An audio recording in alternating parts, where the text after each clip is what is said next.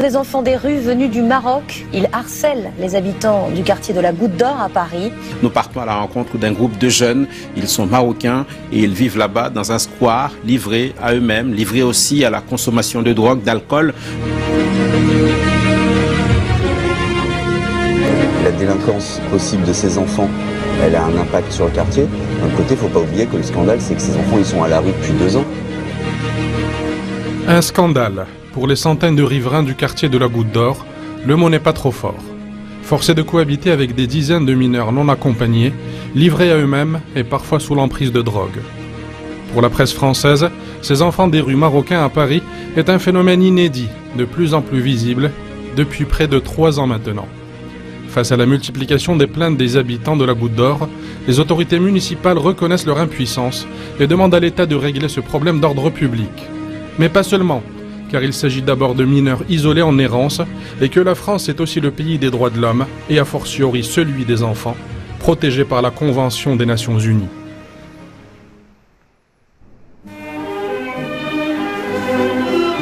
Paris, ses ponts, ses quais et ses beaux bâtiments en pierre de taille. Ville des Lumières pour les uns, capitale du luxe et du raffinement pour les autres, elle ne laisse en tout cas personne indifférent. L'année dernière, elle a attiré plus de 87 millions de touristes.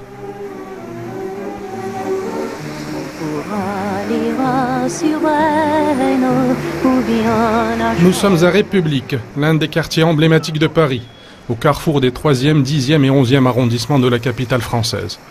C'est notre premier jour de tournage dans ce quartier où nous avons aperçu un groupe de jeunes arpentant le boulevard. Nous les avons abordés, pour savoir s'ils sont marocains et si ce sont des mineurs isolés. Mais ils ont totalement refusé de nous parler et menacé de casser notre caméra si on s'avisait de les filmer. Puis nous sommes allés directement dans le 18e arrondissement, au quartier de la Goutte d'Or, lieu de regroupement des mineurs en errance, selon tous les interlocuteurs rencontrés à Paris. Sur les grands boulevards de Barbès et de la Chapelle, plusieurs groupes de jeunes se livrent à des transactions plus ou moins douteuses. À quelques encablures de là, la rue Affre, où se trouve le local de l'Association des travailleurs maghrébins de France. Nous devons y rencontrer son président, Driss El-Kharchi, un militant de la première heure qui soutient et conseille les demandeurs d'asile étrangers en terre de France. Dans ce local, Driss reçoit aussi les mineurs marocains non accompagnés à qui il vient en aide régulièrement.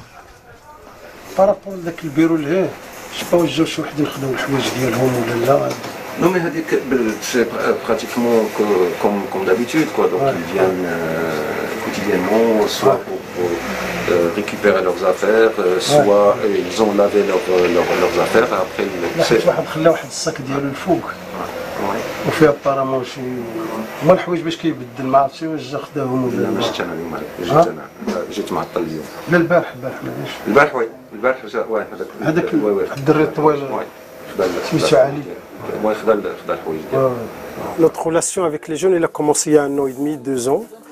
C'était des jeunes qui étaient euh, dans un premier temps dans le square Bachoun. Il se trouve que notre local, le siège national de la TMF, est à quelques mètres. Et donc c'est là qu'on a commencé à les croiser. ils viennent chez nous. On a commencé à, établir des relations avec eux, de, petits services, euh, téléphone à charger, un petit café, euh, connexion Internet, des choses comme ça. Ça a commencé comme ça. Alors, les relations se sont développées avec ces jeunes parce que euh, on a constaté assez rapidement que euh, y avait un non-respect de la loi française, un non-respect de la réglementation internationale en termes de protection des enfants, à savoir que des mineurs dormaient dans la rue, des, euh, jeunes étaient livrés à eux-mêmes dans les, rues de Paris. Et donc à partir de là, on a commencé à interpeller un certain nombre de services pour voir ou pour comprendre pourquoi il n'y a pas des solutions euh, pour ces jeunes-là. Le militant des droits de l'homme a été le premier à tirer la sonnette d'alarme et à attirer l'attention des élus du 18e arrondissement sur la situation précaire des enfants. Euh, on a été approché par euh, la mairie euh, quand il y avait le projet de mise en place d'un local pour accueillir ces jeunes. On nous a demandé s'il y a moyen de voir comment faire quitter les jeunes, leur, faire quitter notre local pour qu'ils aillent dans ce local-là. Mais ça, nous, euh, bon, on- ça ne nous dérange pas, mais on ne va pas dire aux jeunes, vous ne venez pas ici. Ici, c'est l'association de travailleurs maghrébins de France. Elle accueille tous les sans-droits et pour nous, ces jeunes font partie des sans-droits parce que s'ils avaient un certain nombre de droits, ils ont un certain nombre de droits, mais ces droits ne sont pas, à mon avis, respectés euh, comme ils devraient l'être. La collaboration du président de l'ATMF avec les élus ne fera pas long feu. La mairie de Paris signera alors un partenariat avec une première association, et lorsque le phénomène se compliquera, celle-ci s'engagera avec le CASP, Centre d'action sociale protestant, avec le déblocage d'un montant de 700 000 euros destiné à financer les repas et l'hébergement des mineurs. Concrètement, on propose euh, de, la prise en charge des besoins euh, primaires, euh, à savoir dormir dans un endroit, se mettre au chaud, puisque là il faisait froid en l'occurrence, être sur, sur du soin, puisque nous avions notre infirmier qui est arrivé, que nous avons réussi à embaucher très rapidement, donc faire une réponse à la demande de soins nourrir, les nourrir. Euh, avec une euh, très rapidement on s'est rendu compte que euh, à l'abri de nuit le fait d'avoir une cuisinière d'avoir quelqu'un qui fasse à manger d'avoir un adulte hein, qui cuisine pour ces jeunes et non pas prendre des plateaux tout faits ou de la liaison froide mais plutôt de la cuisine préparée un plat unique hein. ils ont tous les soirs un menu avec un plat unique créer une atmosphère qui permettait de créer un peu une petite maison, un endroit, un lieu dans lequel ils se sentent euh, en sécurité. Nous sommes dans le 11e arrondissement, près de la place de la Bastille. C'est dans ce quartier, rue du Chemin Vert, que se trouve un refuge pour les enfants. Nous y rencontrons Mohamed Karkash, éducateur et responsable de ce centre. Bonjour, où? Sommes-nous Là, on arrive à l'accueil de nuit pour mineurs euh, isolés euh, en errance marocain. On vous suit pour la visite Très bien. C'est sur votre gauche. Nous y voilà. C'est uniquement pour la nuit, si je comprends bien. Oui, c'est vraiment un accueil de nuit. On accompagne les enfants le, soir et ils repartent le matin. D'accord. Donc euh, des mineurs euh, isolés marocains en errance euh, depuis plusieurs mois pour certains. Et puis voilà, c'est leur, leur refuge. Alors c'est un espace collectif avec cuisine, salle à manger, euh, sanitaire. Par ailleurs, c'est un lieu qu'on transforme en dortoir euh, chaque soir après le repas, après que les enfants et adolescents aient nettoyé avec les éducateurs euh, les tables, etc. après le, après le repas.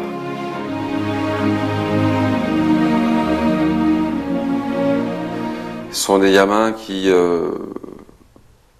cumule tellement de difficultés qu'il rentre dans aucune case au sens euh, habituel euh, et institutionnel du terme, c'est-à-dire au sens d'une institution classique. C'est pour ça que notre dispositif expérimental, enfin a un caractère expérimental et qu'on essaye d'avoir une réponse adaptée euh, avec extrêmement de souplesse. On est malléable, on est un peu plastique mais euh, la question de l'insertion, pour eux, elle est, euh, elle, est, c'est encore une chimère. Euh, ils en sont pas là. Ils sont dans le ici et le maintenant, dans le jour le jour. ils n'ont pas forcément de repères dans l'espace-temps comme un adulte peut l'avoir. Et puis, ce sont aussi des enfants qui, ont, qui sont un peu cassés psychologiquement et narcissiquement, effectivement.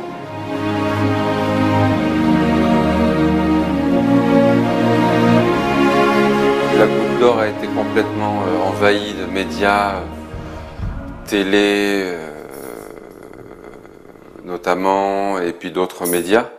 Mais ça leur est insupportable. Il y a eu un reportage récemment où ils apparaissent à leur insu, donc ça les a mis extrêmement en colère. donc la moindre caméra qui arrive sur le quartier, vous avez une réponse immédiate des jeunes. Hein. ils, refusent hein, d'être d'apparaître à l'image pour des raisons qu'on peut comprendre et qu'on peut respecter. Hein. Ils veulent préserver aussi leur, leur dignité et leur, anonymat. Et puis, bon, effectivement, ce, ce, cette problématique a tellement été euh, évoquée qu'on a, on a basculé du côté du trop, quoi. Ils veulent absolument pas apparaître dans, les médias, et encore moins dans un média marocain, parce que ils veulent pas qu'on sache euh, qu'ils sont là, quoi. Donc ça, ils nous l'ont fait savoir de façon assez virulente. et encore une fois, ils ont fait bloc et ils étaient très clairs. là, s'ils voient des caméras dans la rue, la réponse, elle va être immédiate. C'est-à-dire? Ah bah, ils vont arracher les caméras. Ah, carrément, violente. Oui, oui. En tout cas, ils ne se laisseront pas filmer. Il y a deux ans, avant que le problème n'empire, les mineurs se laissaient filmer dans le quartier et acceptaient de témoigner à visage couvert. Mais la diffusion d'un reportage montrant l'aspect de leur délinquance les a rendus furieux et inaccessibles. Nous avons rencontré le reporter de France 2, auteur du sujet Les enfants perdus de Barbès, et l'avons interrogé sur son approche avec les mineurs marocains. Eh bien, il faut y passer du temps, il faut euh, se rendre sur place, euh, ce qui est évidemment euh, compliqué. On est face à, des jeunes qui sont à la rue généralement depuis plusieurs mois, voire plusieurs années, qui, bah, par leur mode de vie à la rue, ont perdu l'idée de, de, faire confiance à un adulte. Et un adulte représente, et encore plus un journaliste, quelqu'un dont il faut se méfier. Vous êtes engagé avec eux de ne pas les filmer à leur insu en caméra cachée, ce qui a pourtant été fait et montré dans le sujet. On les a pas euh, filmés en caméra cachée, euh, c'est-à-dire avec une caméra embarquée sur soi et euh, et filmer quelqu'un en le trompant. Ils ont toujours, on a toujours travaillé ensemble de façon à ne pas, à respecter que quand on est là, ils savent quand on filme et quand on ne filme pas. Ça, c'était euh, très clair. À un moment, à la fin du sujet, euh, quelques jours avant le montage, il y a quelque chose qui, euh, qui nous manquait parce que, évidemment, cet aspect de leur délinquance et de, de, de, de cette criminalité, ils veulent pas le montrer. nous, on est journalistes, on est, on est là pour montrer les choses et, et donc voilà. Donc ce qu'on a fait, c'est qu'on a filmé à leur insu depuis un endroit où on pouvait euh, les observer et observer cette activité euh, criminelle. On a été obligé de la faire, mais pendant un mois et demi, on, a tout fait pour euh, refuser, enfin pour ne pas le faire. Malgré les avertissements, nous avons voulu tenter notre chance auprès des gamins, pensant à tort que notre marocanité nous aiderait à les approcher pour écouter leurs histoires dans le quartier de la Goutte d'Or, entre la rue Affre et la rue Gessin, jonché de vieux vêtements après une vente à même le trottoir, nous avons donc cherché les jeunes que nous avons soudain croisés près du square Alain Bachon. Ils étaient une quinzaine. Autant vous dire que la rencontre s'est mal passée et que nous avons été obligés de rebrousser chemin pour nous réfugier au local de l'Association des travailleurs maghrébins de France, où ils nous ont suivis.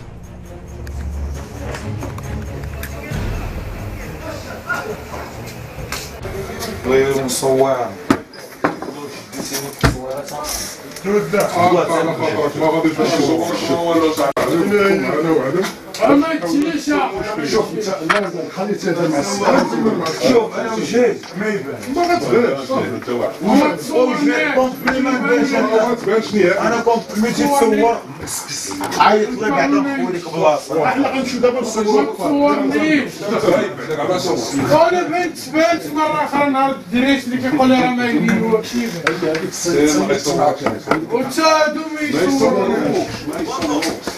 أنا برد من شيقارون برد ولا البيروقراط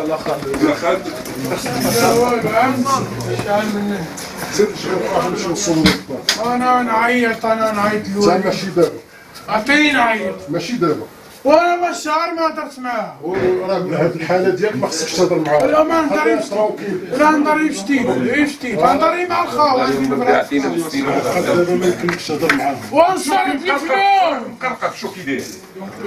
تهضر معاهم دابا معاهم غتحاربوا طرحهم نهضري مع الخاوة عندي النمرات الخاوة. راك تخمم دابا. تفهم نهضري والله الا أنا انا ندوز لك تهضر عندي النمرة انا عندك تهضر مع نتسلم لا تهضر معايا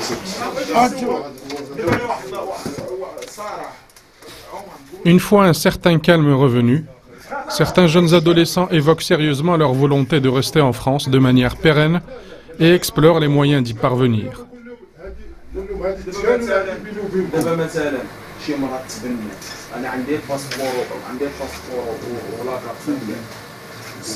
ديالي عام عم عام يلا وتبنى عندك لاكارت اولي لا تبنى في راسك سايب لك وريحه لا لا لا لا يا ولكن تبنى خصك العائله اللي غادي تبناك كدير عمليه تسميه كدير في الدولة هذه صعيبه صعيبه لا بزاف عمليه تسميه لا لا ولا انت ما عندكش تسمى ما عندك انت لا عائله لا والو لا مثلا تجي ورقه تجي ورقه من المغرب انا السيد عايشه في الزنقه في المغرب عايشه في الزنقه خصك تكون في اورفلينا خصك تكون في شي دار حسنه في المغرب يا اه انت ما كنتيش في تبنى ولا بغيتي تتزوج لا لا صعيبه صعيبه Décidés de ne plus s'adresser aux médias, les mineurs affirment aussi leur volonté de rester en Europe et à Paris pour certains d'entre eux. Pour eux, le plus dur est fait. Ils ont pris le risque de la traverser, cachés dans des semi-remorques ou dans des conteneurs de marchandises. Les mômes souhaitent s'installer définitivement en France, en Espagne ou en Allemagne, gagner beaucoup d'argent et afficher leur réussite sur les réseaux sociaux. Hors sol et hors cadre, ils ont beaucoup de mal à s'insérer dans un processus basique d'intégration. C'est le constat établi par les services de la mairie de Paris. Je suis en charge de ce qu'on appelle la protection de l'enfance pour le département de Paris. Et donc, euh, les juges nous confient des enfants, par exemple, qui sont maltraités dans leur famille ou qui sont en France sans leur famille, sans leurs parents. C'est ce qu'on appelle les mineurs non accompagnés. Ils viennent d'Afghanistan, ils viennent d'Algérie, ils viennent d'Afrique noire, un peu du Maroc, mais pas tant que ça en fait. Les enfants qui sont mineurs euh, ont droit à une protection là où ils se trouvent, et surtout lorsqu'ils n'ont pas leurs parents avec eux. Donc le problème avec les jeunes enfants dont nous parlons, qui sont installés dans le quartier de la Goutte d'Or, c'est qu'ils refusent toutes les mesures de protection de l'enfance et qu'on n'a pas les moyens de les y obliger. Euh, s'ils acceptaient les mesures de protection de l'enfance, d'abord ça devrait commencer par des soins dans le cadre de la protection de l'enfance, mais dans des lieux adaptés et sous contrainte, parce que vu leur état, ils ne sont pas capables d'adhérer à une démarche de soins et de désintoxication.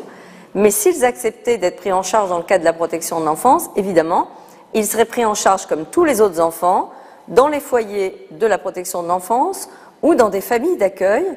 Ils poursuivraient leurs études, ils pourraient avoir des diplômes euh, et ils pourraient ainsi se projeter, s'ils le veulent, en France ou retourner au Maroc munis de diplômes. D'après vous, pourquoi refusent-ils d'intégrer un processus quelconque de, de soutien, d'assistance, comme ce, celui dont vous venez de me parler ah bah, Ma conviction profonde, c'est parce que là, ils sont tombés dans un processus de toxicomanie euh, qui les rend dépendants de la drogue, qui les oblige à commettre des actes de délinquance. D'ailleurs, ils ont beaucoup de mesures de condamnation pénale, mais qui ne peuvent même pas être exécutées. Euh, et donc, dans la mesure où ils ne sont pas en état et qui sont en bande, c'est des enfants d'un quartier en fait, c'est des, des, jeunes qui sont partis, communiquent par les réseaux sociaux, c'est vraiment les temps modernes. Et donc, nous, ce que nous devons, c'est trouver les moyens de les protéger, mais pour les protéger, nous devons avoir une coopération très resserrée avec les associations marocaines, comme la MESIP, euh, Darna, Beiti et les autorités marocaines, qui bien sûr euh, doivent pouvoir euh, appuyer la, connaissance de qui sont les parents de ces enfants, car on ne connaît pas leurs parents, parce qu'ils ne donnent pas leur nom et leur prénom, comment retrouver les familles, comment convaincre les familles, comment aider les familles à mieux s'occuper de leurs enfants? Dépassée par la situation, la mairie de Paris a sensibilisé le palais de l'Élysée et saisi le chef du gouvernement à Matignon sur la question. Une commission franco-marocaine pilotée au niveau diplomatique a aussi été créée avec une coopération effective entre les autorités françaises et marocaines.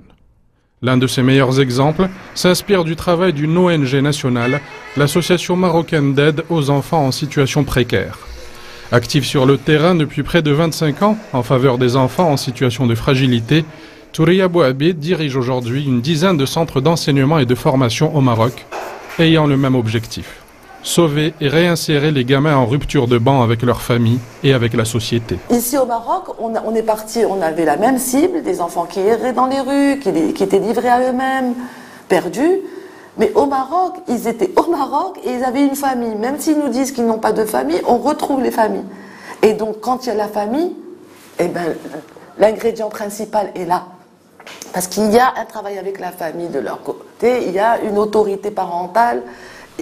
On arrive à s'accrocher à quelque chose et chaque cas est un cas, il n'y a pas de recette, mais on est plusieurs à réfléchir et on met tous les garde-fous. Et ça fonctionne. Tandis que là-bas, ils sont sans autorité. Ils sont livrés à eux-mêmes. Un constat établi à l'issue de ces rencontres à Paris avec les mineurs dans des situations difficiles et désagréables. Ils ont parlé facilement euh, dans le commissariat parce qu'à l'extérieur, la première rencontre, elle a été un peu violente parce qu'ils euh, pensaient qu'on était venu les chercher, euh, et alors que ce n'était pas du tout ça. On, était, on est venu à la rencontre pour pouvoir voir s'il y avait une possibilité de les aider, de les écouter, de comprendre leur trajectoire, qu'est-ce qu'ils font ici, comment ils sont arrivés? Comprendre, pour pouvoir trouver après des solutions durables, parce que euh, on, est pas, on est venu dans de bonne foi pour essayer de les aider à, faire un projet de vie ou trouver leur chemin. Dès qu'ils entendent Maroc, je viens de Fès, ils commencent à parler de leur rue. Je lui dis, est-ce que tu habites à côté de là? Euh, euh, Leur donner un repère, on sentait tout, tout de suite dans le regard lumière. Donc on se disait, c'est encore possible. Euh, vous voyez, ça c'est important. Euh, ils étaient toujours fiers d'être marocains, mais ils te, racontaient Dorof, etc.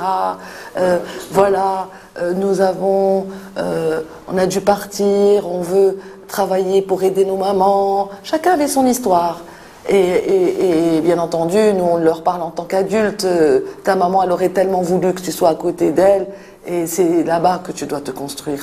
je, leur ai toujours euh, conseillé de réfléchir à revenir au Maroc, qui pourrait après partir là où ils voulaient. Nous sommes des citoyens du monde.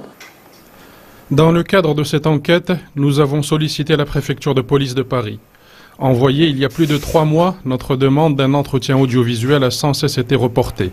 Nous souhaitions en savoir plus sur les actes délictueux des mineurs et sur la coopération entre les polices françaises et marocaines.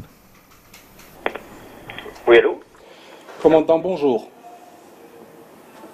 Oui, bonjour, monsieur. Oui, c'est Youssef Zwitny de 2M, Casablanca. Vous me remettez? Oui, bonjour, monsieur. Comment allez-vous?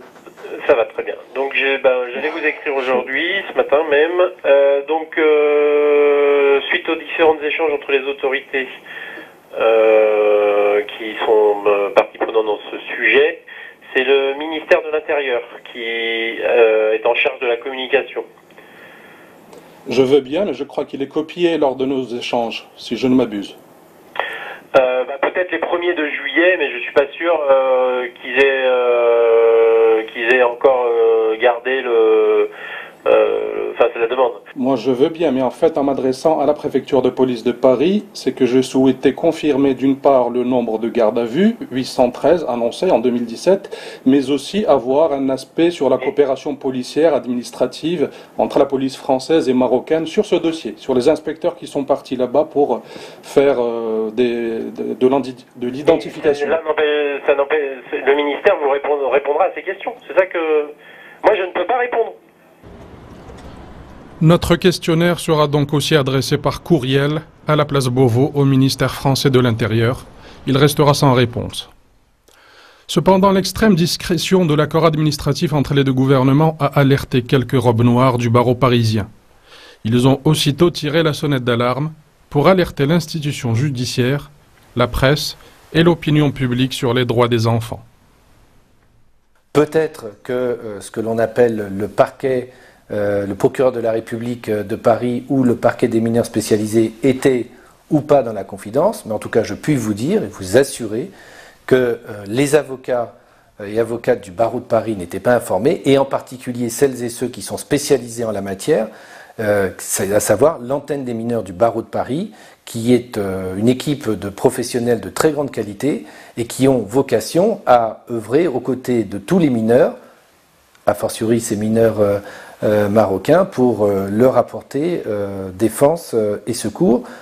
Défense et secours, c'est-à-dire s'assurer que l'intérêt supérieur de ces enfants, quel que soit leur parcours euh, criminogène, soit respecté. Et ce qui est très important à comprendre, je l'espère pour euh, euh, les téléspectatrices et téléspectateurs marocains, et c'est ça que je veux vraiment vous dire, c'est qu'avant tout, ce sont des enfants et qu'il faut les traiter comme des enfants.